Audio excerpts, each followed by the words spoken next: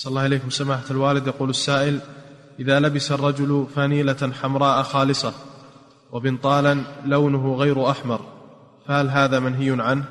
إي نعم منهي عنه الأحمر الخالص منهي عنه سواء كان ثوبا وافيا أو كان بعض ثوب أو فنيله أو سروال أو غترة. لا يجوز لبس الأحمر الخالص. أما الأحمر المخلوط فلا بأس. نعم.